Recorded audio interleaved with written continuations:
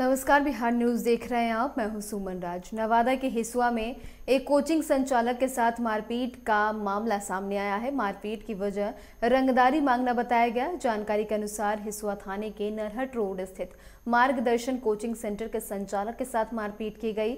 मामले की जानकारी हिसुआ थाने को दी गई है। थाने में आवेदन देकर कार्रवाई की मांग की गई है। चंदन नाम का एक व्यक्ति जो हमारे मकान के जस्ट दाएँ साइड में रेंट के मकान पे रहता है। इस लड़का ने लाठी लेकर मेरे सेंटर के अंदर आया और हमसे रंगदारी की मांग की। रंगदारी के रूप में दो हज़ार रुपया की मांग किया, हमने पूछा कि आपको रंगदारी किस बात का है? तो उसने कहा कि आपका बच्चा हमारे पति के सामने रहता है। तो ऐसा आज नहीं, दो महीना पहले भी ये घटना को इस प्रकार से करने का कोशिश किया। लेकिन उस समय लवली सर थे, इस कारण घटना जो है नॉर्मली रूप से रहा, कोई दिक्कत नहीं हुआ लेकिन आज लवली सर की अनुपस्थिति में इन लोगों ने पहले अचानक मेरे कोचिंग के अंदर प्रवेश किया।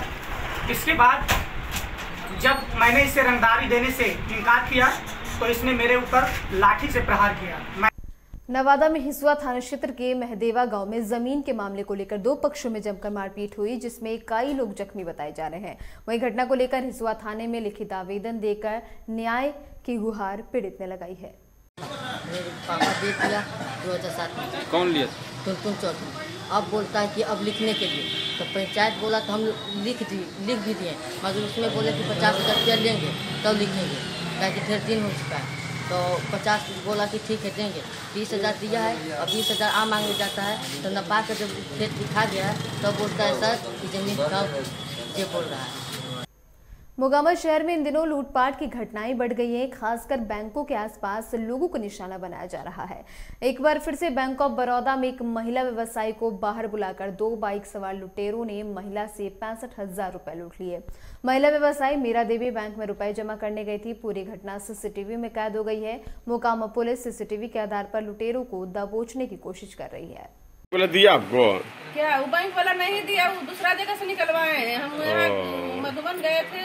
उसके पास गए थे सब लोग गया फुसला के हमको और वहीं से ये लोग पैसा छीना है। क्या हुआ था? पूरी बात बताइए। हम बैंक गए थे पैसा जमा करने के लिए और वहाँ दो गो मिला हमको बुलाया कि सुनिए थोड़ा बाहर में आकर के अभी भावचर भर ही रहे थे हम बाहर गए वो दोनों मिल से पैसा छीन लिया। कैसे छीना? हाँ छीन लिया वो रखे हुए थे पोलिथीन में करके। मोतिहारी से एक बड़ी खबर सामने आई जहाँ अब पुलिस पिटाई से एक शख्स की मौत हो गई। इस घटना में मृतक के बेटे ने थाना प्रभारी के साथ अन्य सहयोगियों, पुलिसकर्मियों पर हत्या के मुकदमे के लिए आवेदन दिया है। मामला ज़िले के पिपरा थाना क्षेत्र की बताई गई। दरअसल देर रात थाना क्षेत्र के कुंवरपुर गाँव निवासी जन वितरण दुकानदार केदार सिंह के घर पर भारी संख्या में पुलिस बल ने छापेमारी की और पुलिस ने केदार सिंह को गिरफ़्तार किया। ऐसा आरोप केदार सिंह के बेटे ने लगाया कि गिरफ्तारी के बाद थाना अध्यक्ष के आदेश पर उनके पिता के पुलिस द्वारा जमकर पिटाई गई, की गई, जिससे कि उसकी मौत हो गई। वही घटना के बाद मृतक के परिजन अस्पताल में पहुँचे और जमकर हंगामा किया। दो बजे रात में हम लोग अपने घर पे सोए हुए थे। पूरा पिपरा थाना उसके अलावा में था या नहीं था हम उतना इतना मार रहे थे लोग कि हम देख नहीं पाए। वो थाना पिपरा थाना लोग आया प्रमोद सिंह अनीता देवी नगीना अखिलेश सिंह सब आदमी गया लोग। पापा जी छत पे सोए हुए थे मम्मी और हम नीचे सोए हुए थे अपने रूम में। ऊपर हम जाके देख रहे हैं तो ये लोग पूरा ऊपर मार रहा है बोल रहा है लोग कि हथियार का तस्करी करता है हथियार कहाँ है ये बताओ। बोल रहे कि हम डीलर हैं डीलर के काम करते हैं हम लोग हथियार का तस्करी क्या करेंगे अच्छा। आपको सर गलत जन वितरण प्रणाली, हाँ। जन वितरण प्रणाली है। अब वो पूरा एकदम मार रहे हैं बोल रहे हैं कि साला इतने दिन से फरारी में चल रहा था आज हथे चढ़ा है उसमें है वो अखिलेश सिंह है वो बोल रहा है कि साला के उठा के सीढ़ी पर से फेंक आज मुआइये के चले के बैग रखे सीढ़ी पर से उठा के नगीना प्रमोद और वो अखिलेश अनिता सब लोग मिलके उठा के वैसे भी एक आदमी से उठने वाले हैं नहीं सब आदमी मिल के उठा के सीढ़ी पर से फेंका लोग नीचे और घसीट के नीचे है वो उसी टाइम में बेसुध हो गए थे अभी जिस प्रकार से ये एक डीलर आदमी है एकदम इनोसेंट आदमी है किसी को भी ये टोटल ग्रामीण यहाँ पर खड़े हैं किन्हीं को भी मालूम नहीं है कि हमारे ऊपर केस कौन सा है। कौन सा? और यदि किसी प्रकार का कोई केस है तो पहले इंफॉर्मेशन करना चाहिए। किसी प्रकार का कोई है। इंफॉर्मेशन नहीं हुआ और रात में दबिश इतना ज़्यादा लगा जैसे किसी आतंकवादी को पकड़ने ये लोग बेगूसराय में एक दर्दनाक हादसे में बिजली की तार की चपेट में आने से ओवरलोड दूध टैंकर के चालक की मौत हो गई। घटना लाखों थाना क्षेत्र के गंगा डेयरी के पास की है। मृतक की पहचान उत्तर प्रदेश के रहने वाले ओम दत्त के रूप में की गई। सूचना मिलने के बाद पुलिस ने शव को कब्जे में लेकर पोस्टमार्टम के लिए भेज दिया है और आगे की छानबीन में जुट गई है। टैंकर खड़ा हुआ था गेट के पास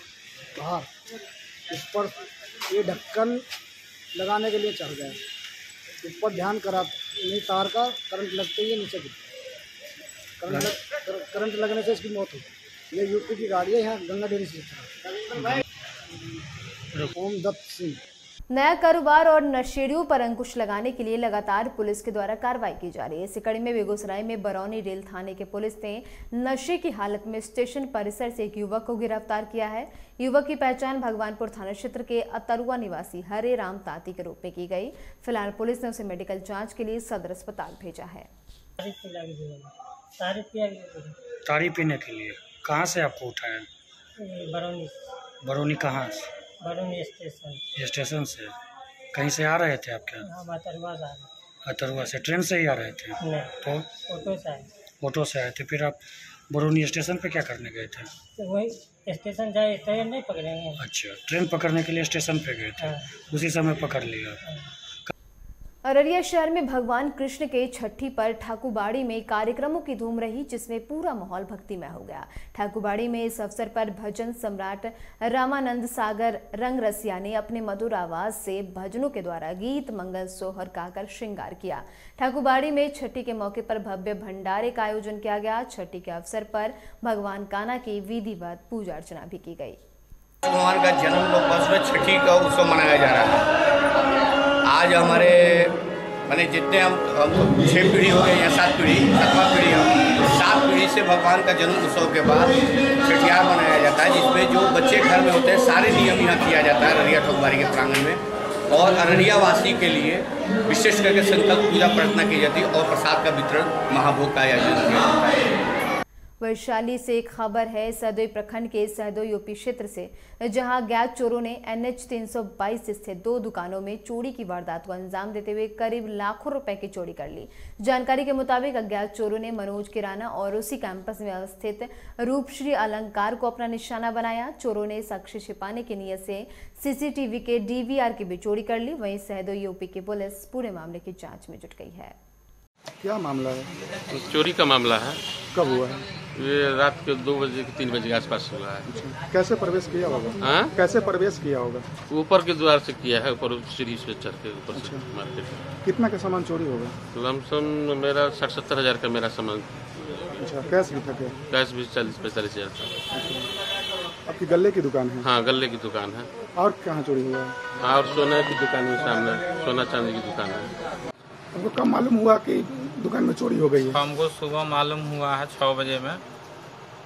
दुकानदार आए थे तब बोले कि बोलो गेट तोड़ के ऊपर से आए और शटर ग्रिल उरिल तोड़ दिया है काउंटर वाउंटर सब तोड़ दिया है और अलमारी भी तोड़ने का कोशिश किया है जो क्षतिग्रस्त हो गया है। कितना का सामान आपका गया होगा? वही समथिंग दो लाख रुपया। और इसी के साथ अभी के लिए बस इतना ही तमाम अपडेट्स के लिए आप बने रहे बिहार न्यूज़ के साथ नमस्कार।